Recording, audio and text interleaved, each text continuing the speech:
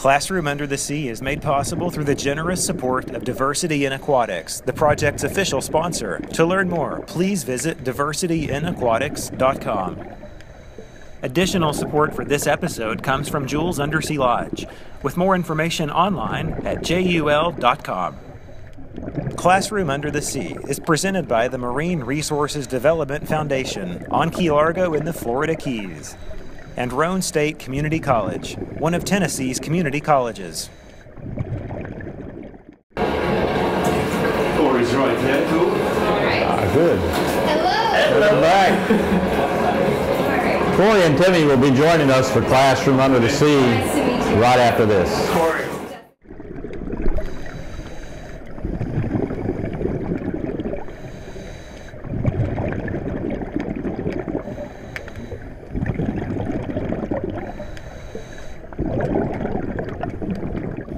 Welcome to Classroom Under the Sea. I'm Jessica Fain from Roane State Community College, and we're broadcasting live from Jules Undersea Lodge in Key Largo, Florida.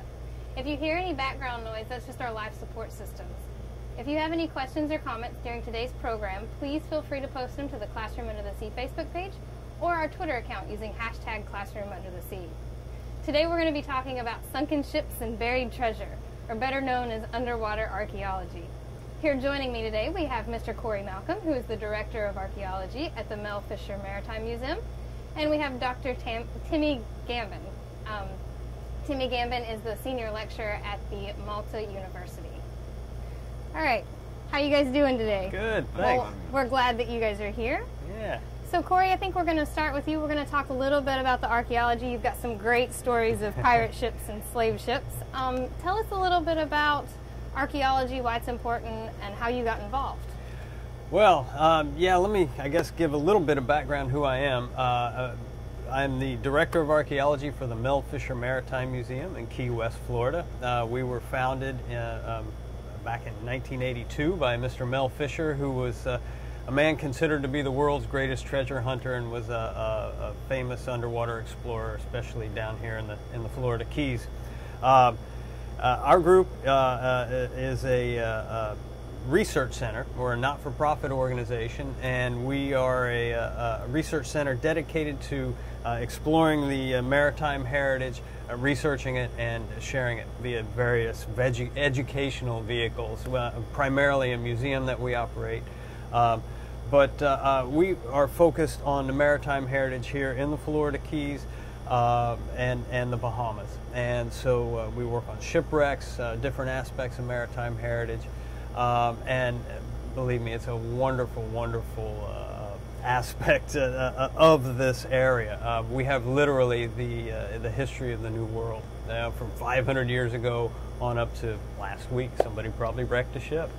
Uh, and, uh, you know, it's all there underwater uh, to be explored, to be uh, uh, figured out, and, and to help, help us understand our world a little bit better.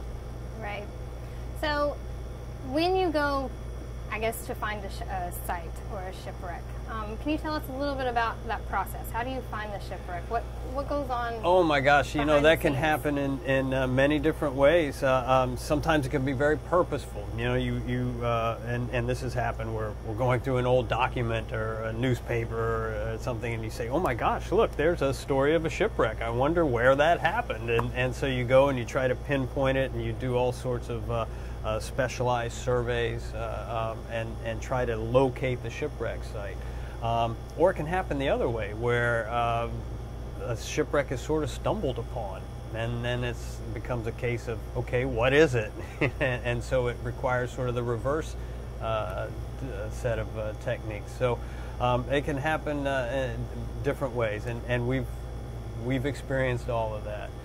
Um, so, uh, uh, but uh, you know, surveying in and of itself, there are various techniques that we use, and we'll, I'm sure we'll get into that throughout the program. Uh, you know, uh, uh, sometimes we use a magnetometer, which measures the Earth's magnetic field. Sometimes we use, sometimes we use our eyeballs, and you know, you you simply get out there and, and, and try to figure out what's what, you know, via those techniques. So, you guys um, have done a lot of research on a lot of different wrecks. The Mel Fisher Museum has, they've done the Atocha, they've done the Guerrero. Do, would you like to speak a little bit about the Guerrero?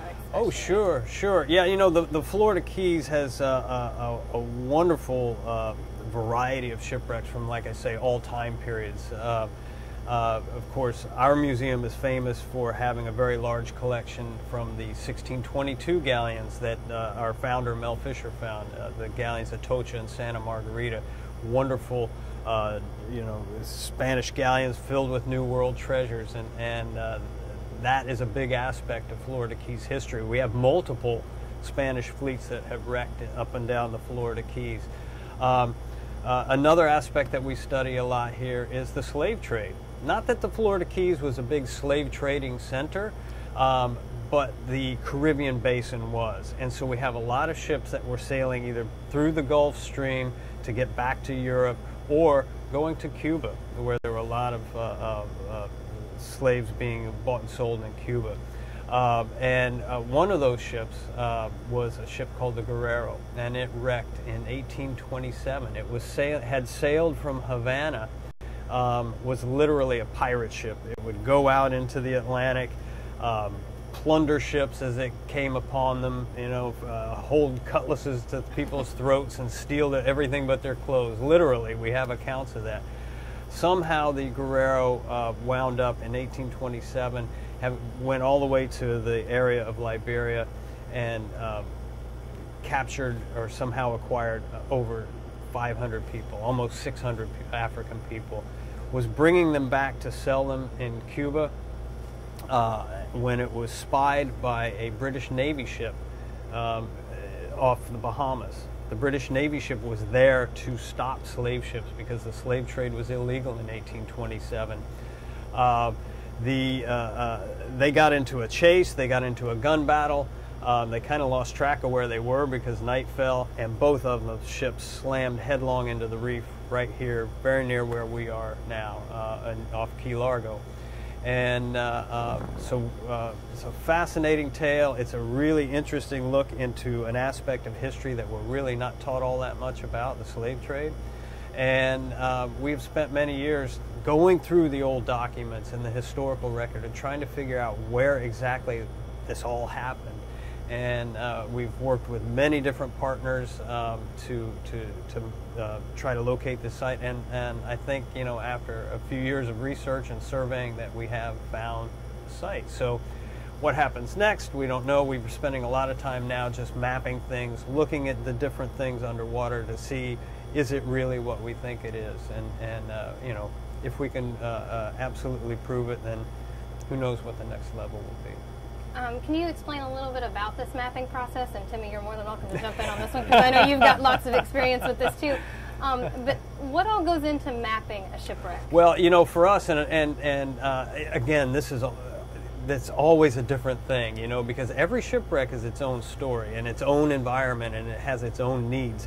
And so, on a ship like uh, uh, what we're looking at, or I'm talking about now, uh, it's in very shallow water. We're in 8 to 12 feet of water. Um, and so it's really a matter of laying a baseline down and simply taking measurements and, and, and drawing in and, and, writing a map by hand and, and uh, um, documenting it that way. Lots of photographs, lots of videotape, uh, uh, but uh, that's really what it comes to, is just hands-on, taking measuring tapes and mapping things. But I believe you were using some uh, new technology to record. Yeah, record yeah, sounds. and and this is uh, uh, an, another, yeah, definitely. You know, the, the the future is here now, and so we're doing some 3D uh, mapping and, and getting into that. I've spent uh, uh, the past year really working towards that, and. Um, I've used a little on the Guerrero side actually, um, but it's it's a technique where it's called 3D photogrammetry. And so you have a normal photograph, and I, I see on the screen that they, you have some, these are concrete barrels from a shipwreck not too far here off, off Key Largo. Um, these were cement, uh, uh, a ship from around 1900. It was carrying barrels of cement. And so now on the seafloor, the barrels have rotted away. It's left the cement has hardened and left the form of the barrel. Um, so you can see the standard 2D photograph, but what we do with this 3D photogrammetry is we take photographs all around from different angles and perspectives. And then we can now run that through some softwares that have been developed, all those photographs, dozens and dozens of photos. And the, the software will join them together as a 3D model. And so now we can uh, uh, uh, render these objects in 3D. And, and it's a beautiful, beautiful way of sharing what a site looks like uh, with people. And you know, this stuff can now even be 3D printed. So we can take a shipwreck, 3D model it, print it, and have it, you know, there on the desk or the museum. So uh, this is definitely a, a, a nice, wonderful, exciting way to document sites that, you know, again, I'm talking about drawing and mapping, and this just really brings things to life in a new way.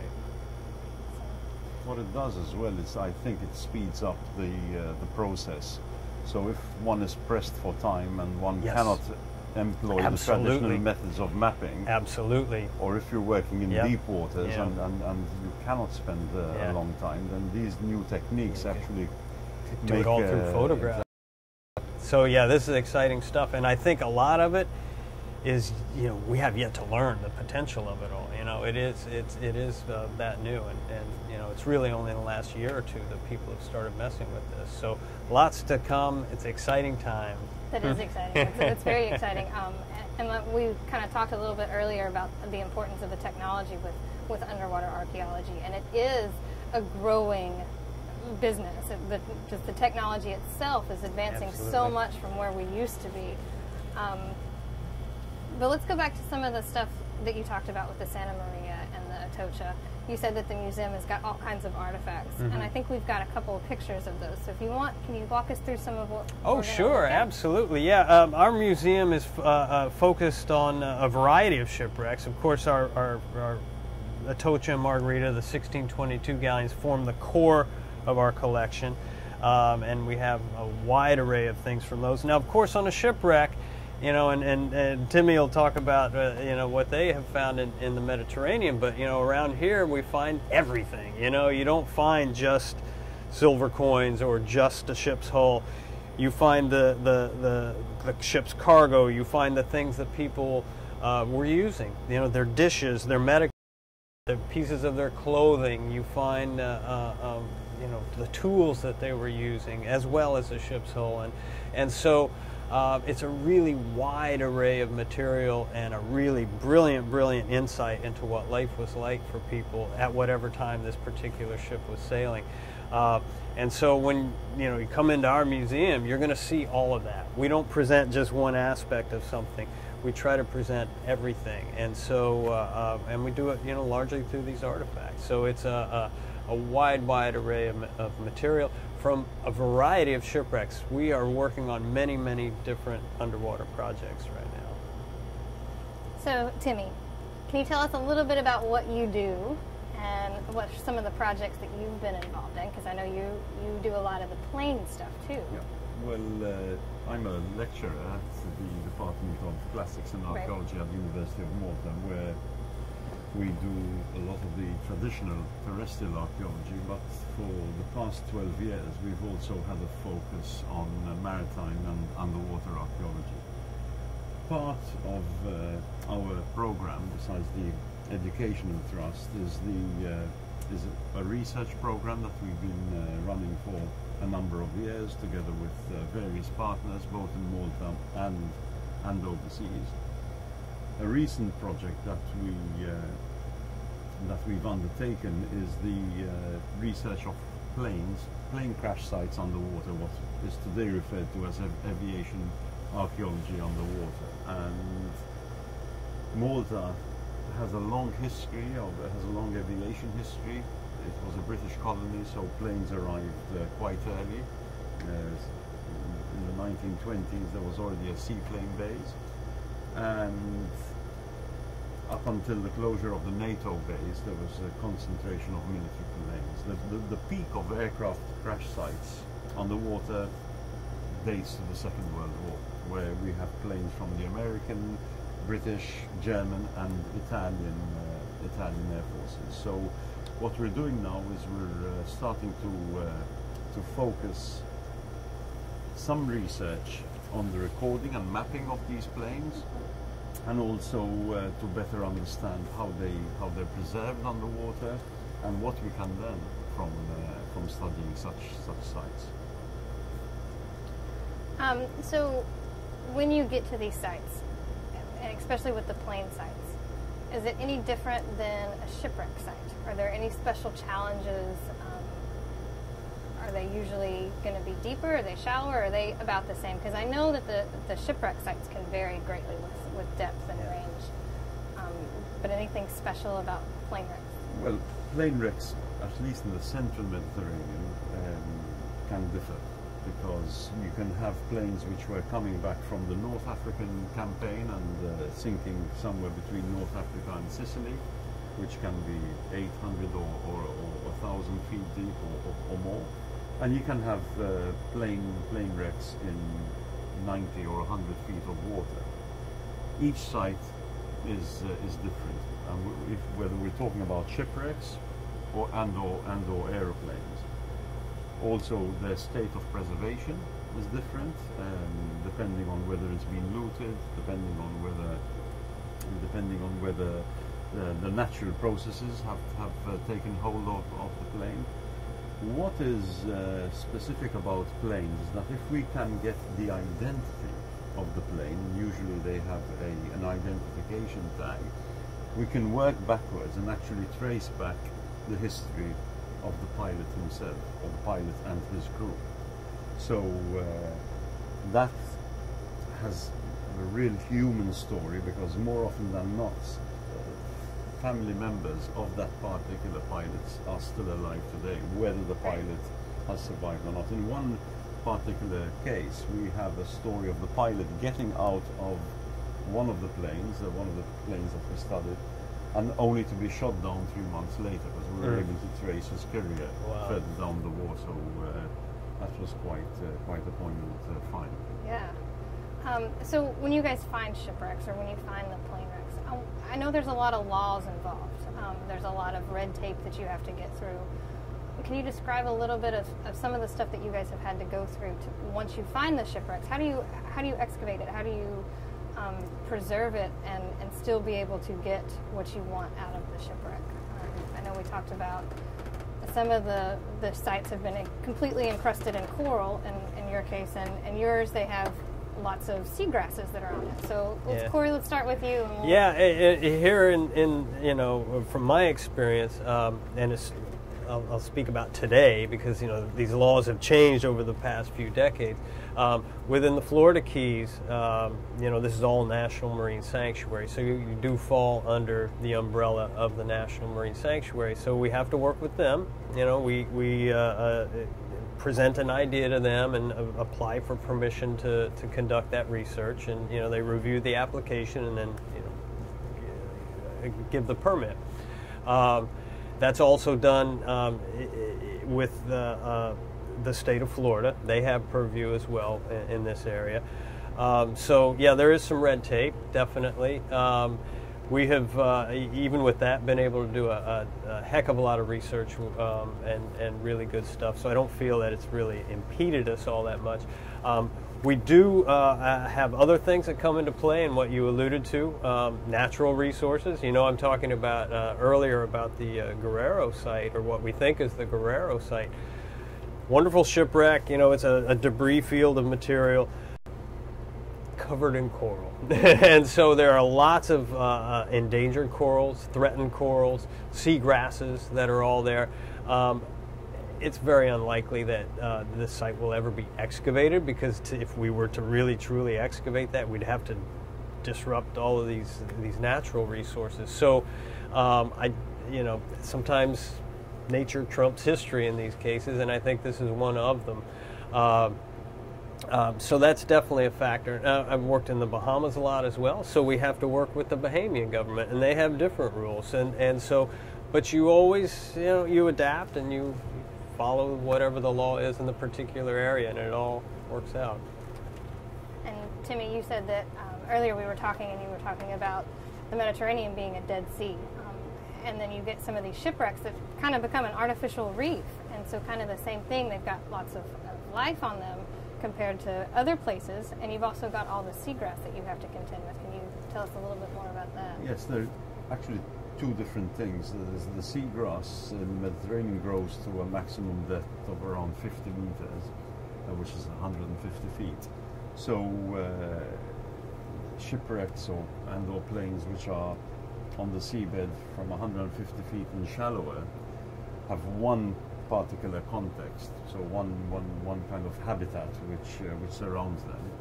And then deeper shipwrecks have one or even more types of habitats which, uh, in which they are situated. In the case of the shallower shipwrecks, the seagrass grows on top of the, uh, in- the ancient shipwrecks, and the seagrass is a highly protected species because it is extremely important for, for the biodiversity of, uh, of the Mediterranean Sea. And as Corey just said and put it so eloquently, this is a case where nature trumps history, and we can only explore little bits, uh, bits and pieces of the shipwreck uh, which are uh, situated in voids within, within the, uh, the seagrass. For the deeper shipwrecks, the, the, the seabed is indeed like a desert. Um, especially these vast areas which are devoid of any rocky outcrops or, or underwater reefs. So these uh, the ancient shipwrecks, especially if it's a concentration of ancient amphoras, ancient uh, ceramic containers, acts as a sediment trap, and then the, the, the plankton is attracted to, to the sediments and so on, until these uh, are bursting with uh, with sea life. And not only does it make it extremely beautiful, not only does it make the site extremely beautiful, but it makes it uh, extremely important from a uh, biodiversity point of uh, point of view. Right. So we've got a couple questions that are actually coming in. Um, we got one from Ramona Crawford. It says, "Either uh, are either of today's guests involved with the search for Amelia Earnhardt?"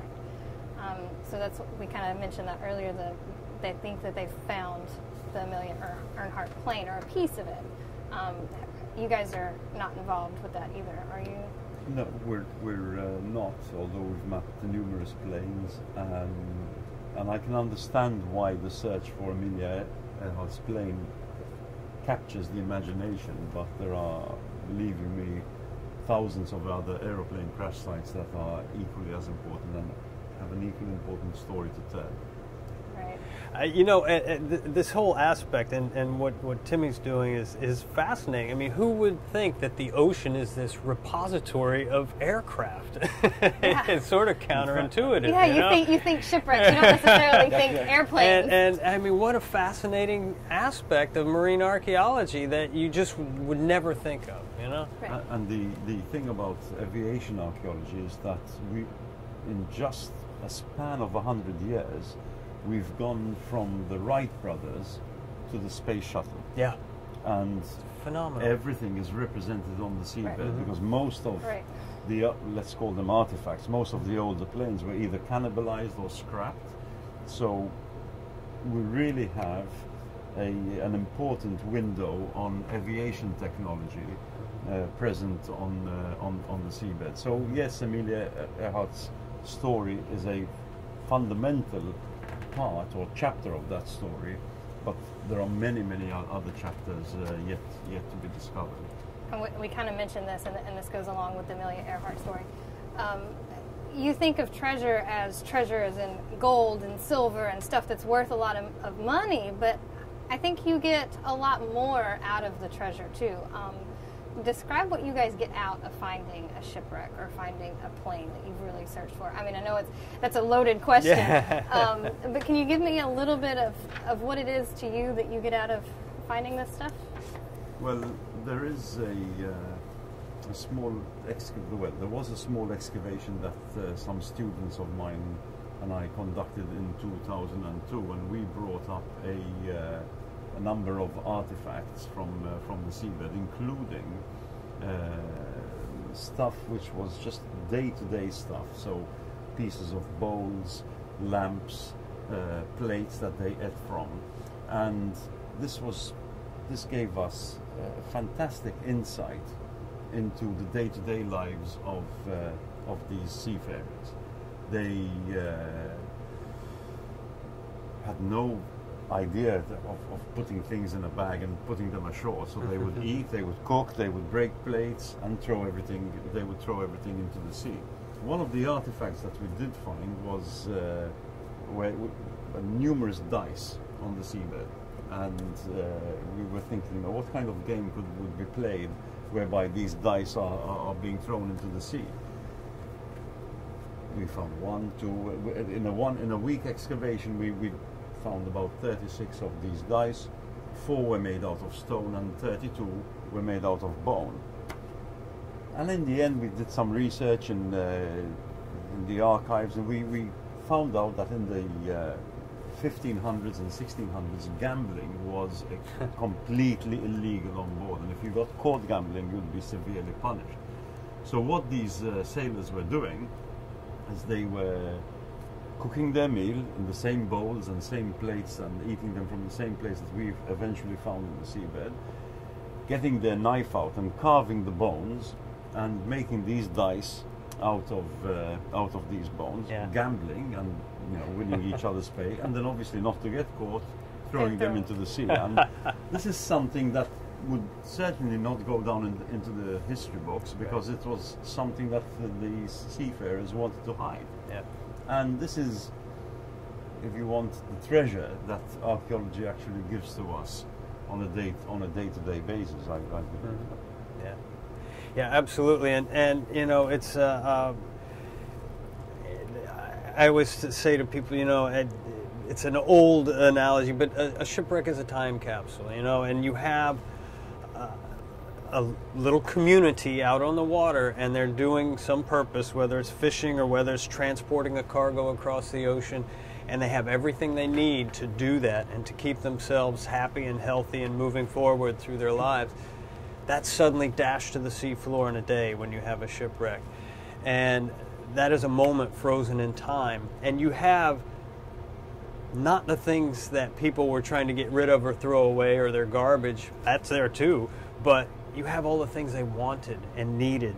And I think in some ways, when we're talking about a shipwreck, that uh, we have a, a, a, a more pure insight into what people were using and their values and, the, and, and their times. And so um, it's an incredibly rich look at really moments in time. And, and uh, I just, you know, for me, uh, uh, marine archaeology and, and shipwreck archaeology like that, it's unparalleled. As to what you can see and learn from. And treasures even you know? Uh, you, you- silver coins or silver bars or gold bars. Wonderful things you know? And yes they're worth money and they're shiny and they're pretty but they have a wonderful story behind them too you know? There's this whole economic engine that they represent and and you know even things like that you can you can look at them in, in different ways and, and and learn from them in ways that you might not immediately think of Um, so, what are some of the, I guess, the process steps of once you find an artifact? You can't just bring it straight up and let it sit out in the air. You, it has to go through a very long, strenuous process. Uh, can either one of you? The power of the sea is uh, such that it starts to uh, affect the the artifact. But there is a, a point in time where that artifact, uh, where an artifact can actually stabilize under underwater. But uh, the moment that artifact is brought up and brought out of that so-called stable environment, then the whole process starts to change, and there is a whole science. This is, these are not archaeologists that undertake this work. These are uh, conservators, people who have studied science but have a love for for historic objects. And uh, for example, there was this fantastic bronze statue brought up from the Mediterranean. You can see this uh, picture of of the statue as it was brought out, and after many, many years of conservation, you can actually see what was lying underneath all those incrustations. And this is a process which takes a lot of time, a lot of expertise, and costs a lot of money. So, the moment that people bring up artifacts without this knowledge, then there is a, uh, a big risk to these very important historic objects. Yeah, the the the, the conservation of these marine materials um, is something that I think people underestimate. They don't understand it, perhaps. Um, but yeah, the, these objects have they fall into the seafloor. They sit there for centuries. They're changed. They're changed physically. They look much different, but they're changed chemically.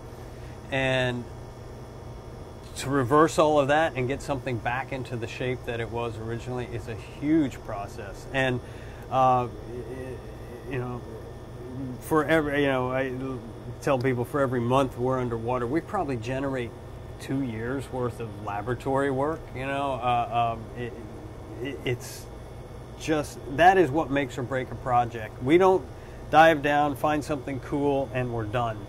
Um, we have to spend a huge amount of time and money and effort to uh, uh, stabilize these things so th- they can't even be in the air anymore. You know, you, the, the oxygen will attack them, and so we have to, to stabilize them and get them so they're in a, a condition that we can put them back into the you know museum showcase and give them another you know five or six or you know millennia of, of life again. And it's it's not an easy task So we- we're seeing a couple little videos here on the screen. Yeah, these are Um, some- Can you kind of tell us what's going on? Yeah, these are some shots in the laboratory, and and uh, um, this is a, a an arquebus barrel and a very early type of musket barrel um, from one of the galleons, and it is uh, having the salt extracted from the metal, basically. And the conservator there is, is rinsing it at the moment, but it just came out of a, a tank we call a reverse electrolysis, which basically purges salt from from the metal that's that's uh, uh, bonded with it over the centuries, and and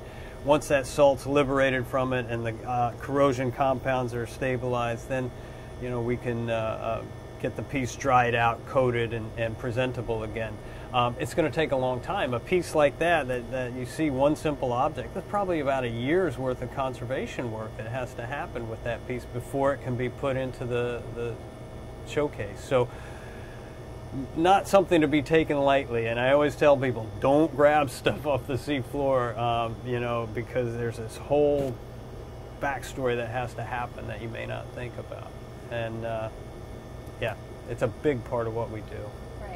So we're getting lots of questions in, um, but let's talk a little bit about when you find these things. We've, we've already discussed that you know it, it takes a lot to get them to where they used to be, but you also don't want looters. So how do you how do you kind of control for looters? Are there there laws in place um, for that? And then I guess kind of the same thing. Um, are there laws in place for who finds the wreck? Is it theirs or does it belong to like a, the government agency or how does all that work?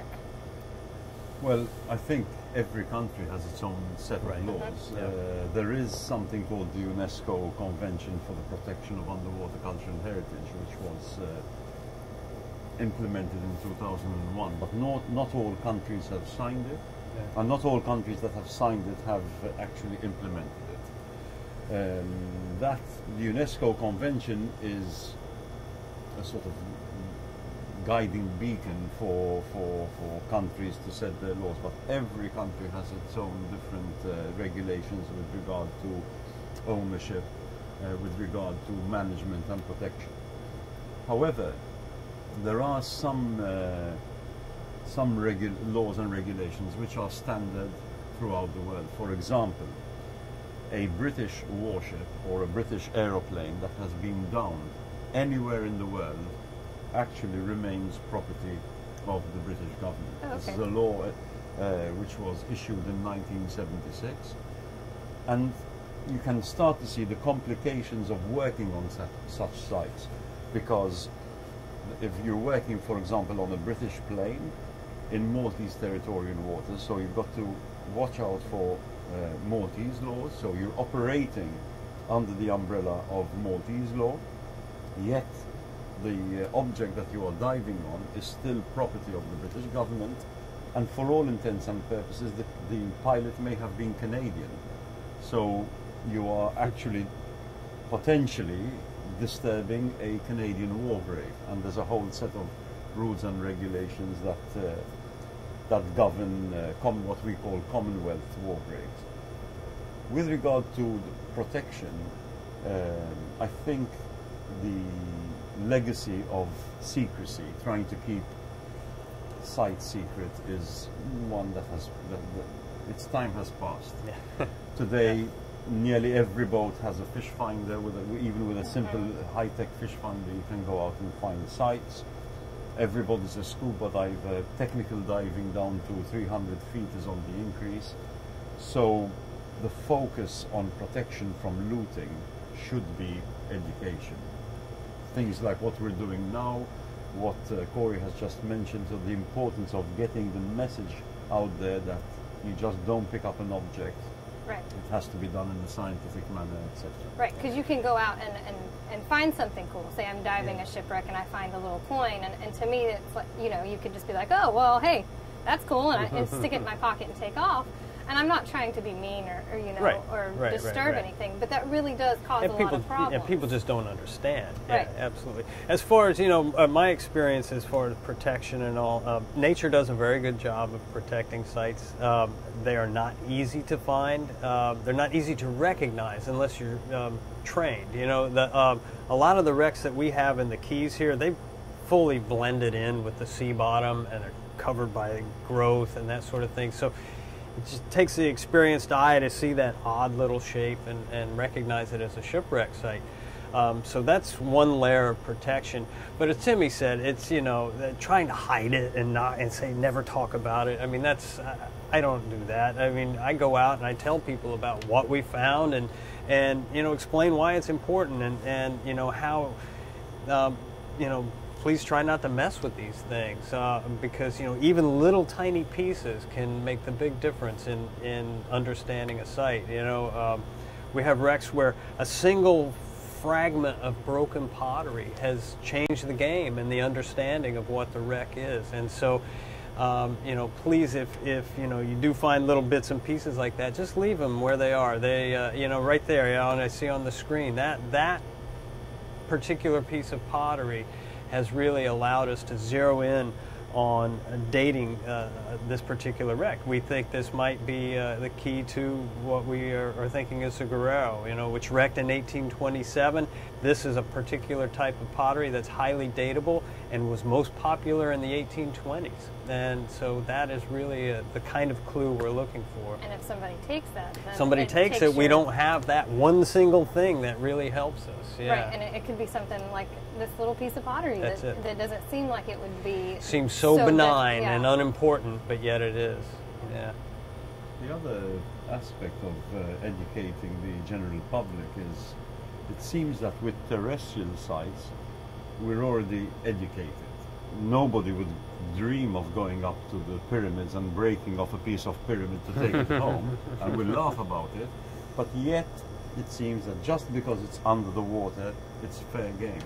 And I think the challenge of uh, people involved in the education of the general public, but also uh, curators of museums and lecturers at university, our, our, one of our key aims should be to make sure people, the general public, starts to recognize that there is no difference between cultural heritage on land and cultural heritage on the water. Right. They both uh, deserve Yes. equal uh, respect. So I guess the finders keeper rule doesn't work, and, and you can't just be like, oh, well, that's mine. yeah, and, you know that's uh, um, certainly within the, the coastal zones. Um, I don't think there is any finders keepers rule Right. anymore. Um, perhaps out in the deeper water, um, you know that that still applies to, to some discoveries, um, but I know within the U.S. Um, and the Bahamas, anything within the coastal zone is under the purview of either the states, federal government, or the, the in, you know whatever country's government. So yeah, don't just grab stuff; you can get in trouble. for for deeper waters, we use uh, technologies to to actually because that we're coming to another frontier, which is which are the waters that are deeper than, than the standard scuba depth of 150 feet. And we use technologies such as uh, side scan sonar, the traditional ways to tow it behind the ship, but there are other other ways of deploying that uh, that uh, sonar. And uh, one of the one of these new technologies is through an AUV. Uh, it's now been made famous through the search for the uh, for the crash uh, site of Oh, yeah. uh, of Australia. And um, through the use, through, through the deployment of these technologies, we're able to discover sites in, uh, in deeper waters. And the side scan sonar creates images, so photos made by sound rather than photos made by light, of, uh, in this case, here on the screen we're seeing a, an ancient shipwreck which Corey quite rightly said you, you have to have some a trained eye because it may seem like a pile of rocks to the untrained Yeah, eye. I would I would Uh, pass that over in a yeah. heartbeat. I'd saying, oh, well, I don't know what that is. It's So, a pile of rocks, but that, that is actually a shipwreck which is 1,900 years old. It dates from the Roman period. That's a huge pile of uh, ceramic containers, uh, which we call amphoras, which were used to, to carry oil and, uh, and olive oil.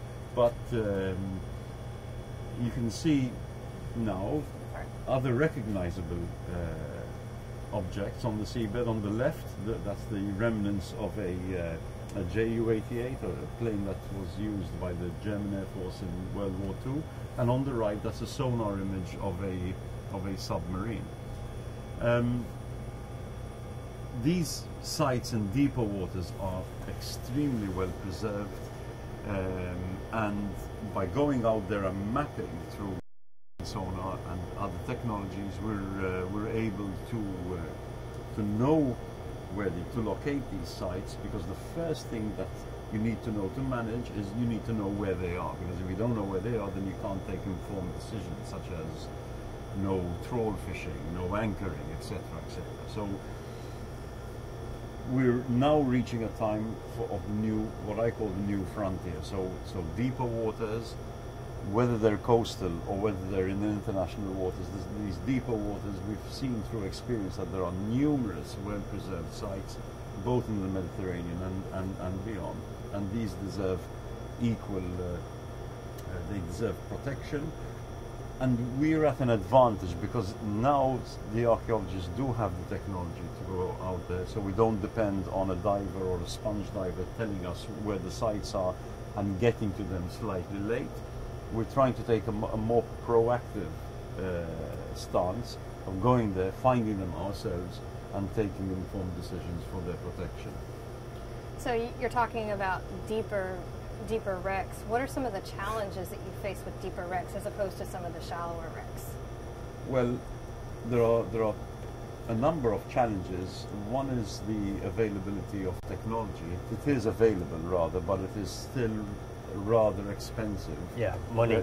Yeah, for archaeologists to, to get their hands on funding to use certain technologies. Uh, technologies like uh, ROVs, remote uh, operated vehicles, uh, which can vary in size from half as the size of a small car to these mega ROVs which are used in, in, in the oil industry. Um, so the challenge is actually getting down to the site.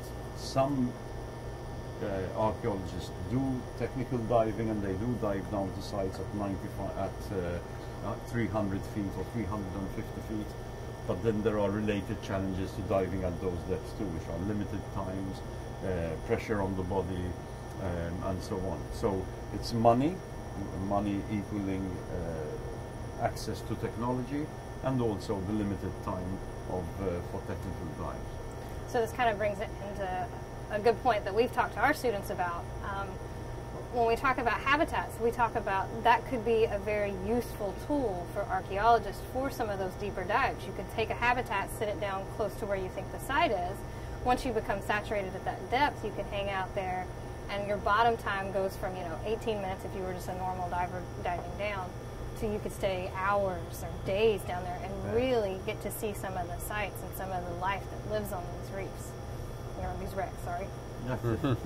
it, um, the pathway of habitats is something that has unfortunately been overlooked by archaeologists. I think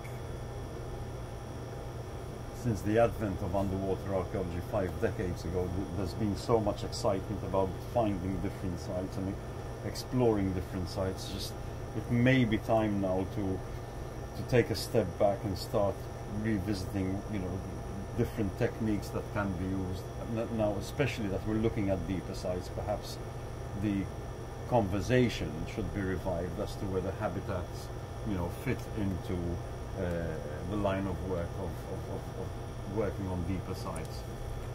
Wonderful tool. You know, again, it probably comes to money, and, and Yeah, you know, yes. most archaeologists don't have that much. But if it was a, if it was some kind of, of organization, privately or Oh, yeah. government organization, that would definitely be to, able to to have what we're in right now, you know, park near a wreck site, and to be living and, and you know sw- swimming out in the moon pool, to that would just be brilliant. That would be wonderful. Absolutely. Yeah. Yeah. So, yeah. And, and one thing that um, we, you kind of overlook, especially um, people who don't dive much, but when you dive down to some of these deep sites, uh, like the when you found the amphora that were fairly deep, um, you guys had a bottom time of what about 18 minutes, something like that, and then you had to decompress the whole way up, and you spent a lot of time in the water column. Um, can you tell us a little bit about what the divers went through? Yeah, it's um, for a wreck at approximately 315 feet. There's 18 minutes bottom time and four and a half hours coming up uh, slowly to uh, to the surface. So you spend all that time getting down. You can only stay down there for 18 minutes, and then you have to spend four hours in the water. Four hours plus. Four hours plus. coming coming up. So that is a challenge because for 18 minutes on the seabed, just keep in mind the hour or two that it takes to prepare the gear. Right. maybe an hour to get out to the site. You've got 18 minutes dive, and you've got five minutes. Uh, uh, sorry, five hours coming up between four and a half hours and five hours coming up. By the time you make it back to the dock and you rinse your gear, that is an entire uh, eight-hour working day. Not only for the two divers that went down. Let's assume that two divers went down, but for the backup team that have been with you, because you have divers that come and give you support at 50 meters, for the boatman, for the people who are on, on, on, on the boat, like the, the uh, hyperbaric nurse, etc. So you have a team of 10, 10 times 8 man hours, 80 hours for a combined 36 minutes on the seabed. That's a lot of effort for 36 minutes, and this is where uh, potential of the possibility of working through habitats or using ROVs, even even manned submersibles comes in to at least increase your bottom time on, on deep deep water sites. Right. Well, and we talked about uh, the Titanic, a little bit about the Titanic earlier. And the Titanic is obviously too deep for divers, and so they use the submersibles. Um, and with these submersibles, you, you're still you, you've increased your bottom time, but you're still looking at a ton of money, and you're, and you're Yeah. looking at um, limited access because of the size of the submersible and the technology on the submersible itself. Um, so we're getting a couple more questions. Let's see. Um, if a country loses a war and there's a completely different government, does the modern government still own the artifacts? Um, for example, like Nazi Germany. So that is a very uh, there's no straight answer. I think there's no straight answer. There's a very grey grey uh, area on this. Um, so a German plane on the seabed could be considered as a prize for the winning for, for the for the victor. Right. But who is the victor? Is it is it Britain in this case because they were fighting in the, in the Mediterranean basin, or is it uh, are they the allies? So is is the ownership divided between France, Britain, and America? And if so, you know what what percentage of the wreck is owned by which country? So it's a, an extremely gla- grey area, and uh, it's it's like negotiating a minefield. So there isn't just the complexity of getting down there, finding it, working on it, protecting it, but there's there's also the legal quagmire that one has to uh, has to avoid. Yeah, who are the stakeholders? And the, the similar thing has happened with uh, uh, you know some of the Spanish colonial wrecks. You know, is, is it Spain's or is it the you know what was the former colonies? And and you know it's not fully settled in, in a lot of these cases. So I could see where that definitely gets Yeah. to be a, a problem. Yeah. Um, so we've got another question. What What's the oldest work site that you guys have worked? Well, this summer um, we worked on a site um, which we found a few years ago, but we returned to it with a submersible this, uh, this summer, and we uh, recorded this, the amphoras um, in, in, in a lot of detail. We had a vessel over for four days. We took approximately 8,000 photographs of the site to, uh, to create a 3D uh, uh, image of the site.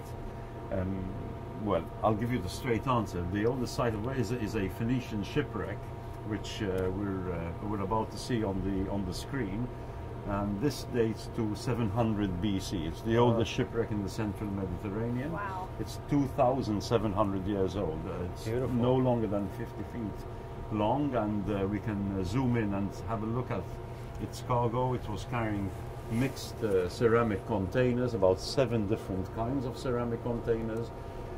One of them, uh, one of the seven types, we've never seen before. So just imagine that this was destroyed by a fisherman or a, a technical diver went down to 105 meters and just happened to pick that one up. We would not have this essential uh, piece piece of the puzzle. So this is a shipwreck from what we call the archaic period of Mediterranean uh, history. Quite unique for the central Mediterranean, and uh, I'm sure that over the following next years is going to give us a lot and a lot of uh, joy when we explore and study it. Now, do you know what some of these containers um, were carrying? Because I know the amphoras, you they think um, were carrying wine, correct? Wine and or olive oil. But this particular shipwreck was also carrying uh, grinding stones uh, made out of volcanic rock, probably from uh, from Sicily. But it was also carrying urns. Urns are these these ceramic uh, containers with a flat bottom, and we only know of them, or we mainly know of them from the context of burials. So uh, this may be the first instance of these urns being exported, or and or somebody, you know, knowing that the Phoenicians buried their dead in one way in one part of the Mediterranean and wishing to replicate, and hence transporting these urns uh, for use elsewhere. We have a very interesting scenario here in the Florida Keys where we have relatively shallow waters. Um, uh, first of all, I'll say the oldest shipwreck itself that I've worked on is 450 years old. You know, we our historic period only goes back 500 years in this area. Um, so we don't have these, you know, 2,000 year plus uh, old vessels, but uh, uh, um, we do have a very interesting phenomenon here. Um, we know that since the last ice age, the seas have come up tremendously, and what's happened is um, sites, prehistoric sites, are now inundated, and we find them underwater. And uh, we, uh, a few years ago, uh, had the good fortune of coming across a site 35 miles west of Key West in 50 feet of water. Um, and we were uh, uh, digging, looking for uh, remains of a particular shipwreck dug down into the seafloor and we hit this whole layer of organic material tree stumps and branches and you know pine cones and all of this you know first we thought it was part of the wreck and then we realized gosh this just doesn't make sense so we sampled some of the uh, the wood and sent it off for analysis it came back it was 8500 years old and what we had discovered what was the prehistoric shoreline of Florida Oh wow. now 50 feet underwater, you know, way out to sea. Um, and there are sites like that all over this area. Now, we're looking right now, we're working with the Marine Sanctuary here to try to pinpoint a site that's been reported to us that sounds like it may be a human occupation site um, in about 25 feet of water. Um, so, uh, you know, it's probably four, five, six thousand years old. Uh, by human occupation, you're talking about like a city. That's, that, well, not a city underwater. per se, but a human-made structure Okay. that is now buried uh, in the in the waters off the Florida Keys. So there's a whole new and wonderful aspect of marine archaeology in this particular area that I think is you're going to see and hear more about. It's in fact this uh, new aspect of marine archaeology, which is often referred to as submerged prehistory, Yeah. is something that is exploding throughout the world, Yeah. in, in, in, the North Sea of England, also throughout the Mediterranean, and also in the uh, in the US. So this is uh, watch this space. Yeah. submerged prehistory is uh, the next big thing with, with regard to underwater archaeology. You know what was really amazing about uh, this this prehistoric site we found was the preservation. It was stunning. We had pieces of pine that still smelled like pine. I mean, you couldn't imagine it because they had been buried and covered over in this silty muck and had stayed preserved in that. It was almost like if you can imagine a, a dense jello made of silt. Uh, um, and this stuff was in that, and it just as if it had been flash frozen 8,500 years ago. Phenomenal, hard to believe. So the, the beauty of underwater archaeology is that you can have something as recent as a plane that crashed 60 years ago Yeah, to a human settlement which is now underwater dating to 20,000 years ago or 15,000 years Yeah. ago. And I think even the state of preservation, the, the, uh, the, the, the variety of sites, and that is one of the few things that makes uh, underwater archaeology unique. All right, guys. Well, we've only got a couple more minutes, so I'm Ah. gonna finish up with one more question. this is this is my personal favorite question. Um, what's the neatest thing or the coolest thing that you guys have actually discovered? What's the most interesting thing? I know it's a loaded question. I tell Again, you, I've got no, all and kinds I, of loaded I, questions. I, I get I get this question all the time. I have a very simple answer. Um, it kind of relates to what I just talked about, but um, people always expect me to say gold bars and all that, and I have found that sort of stuff. But uh, uh, insects on two different shipwrecks, uh, I have been able to find insects from centuries ago, and I, you know, if we are to the point in our excavation that we're finding uh, fragments of beetles we're doing a good job, and I feel good about it. And and to have done that twice on two different shipwrecks just brings me a real satisfaction to know that we're finding everything possible out there. And it's stunning to know that that sort of thing can be preserved after all that time. But it can, and you have to keep an eye open. You never know what you're going to find when you're working on one of these sites, and you always have to keep an open mind and an open eye. How about you? I'm sorry to disappoint you. I have a very similar answer. Be it the dice that we found, I'm just Yeah. imagining the same as hunched up under the deck, gambling and trying not to be caught. To the plane of the pilot that got away, to you know the warship that got sunk, running a convoy to, to Malta, trying to save the island, uh, you know, from uh, from from from siege. So every site has something special, and Yeah. every time that uh, I discover a site and return to it to study, brings back that that, that special feeling. So I think it's safe to say that it's not just the treasure, as in the the gold and the silver that you guys find, but it's definitely the, the history and the context of, of the stuff that was surrounding the shipwreck. So that's that's what's worthwhile for you guys. And you know, in the big picture, uh, you know, this stuff all reflects back on ourselves. These things are the building blocks that brought us to where we are today. And you know, and it really comes down to if we want to understand ourselves, we need to look at these things and understand where we came from. And it's all part of us. Well, guys, I really want to thank you both for taking time to come down here and talk to us. We really appreciate it. I'm sure our viewers really appreciate it. Um, so stay tuned for next week's episode. Uh, we're going to have the ocean exploration and climate change.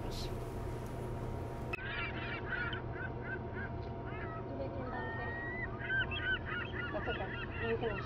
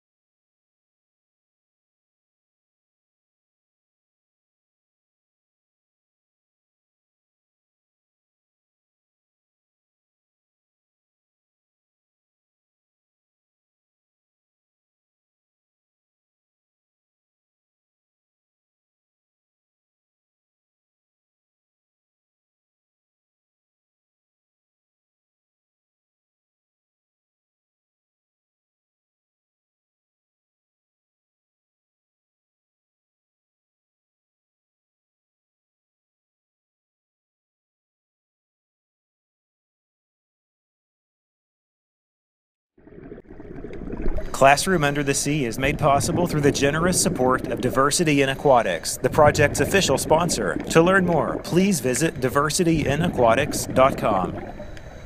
Additional support for this episode comes from Jules Undersea Lodge, with more information online at jul.com. Classroom Under the Sea is presented by the Marine Resources Development Foundation on Key Largo in the Florida Keys and Roane State Community College, one of Tennessee's community colleges.